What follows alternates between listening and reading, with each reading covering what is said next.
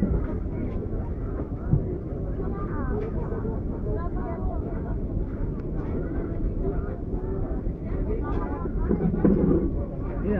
kalau jual seribu butir apa aja baru dapat tiga ratus ribu gorengan. Eh enggak sih, lebih, untungnya sembilan ratus. Diminum apa diangkut ya gulanya ini?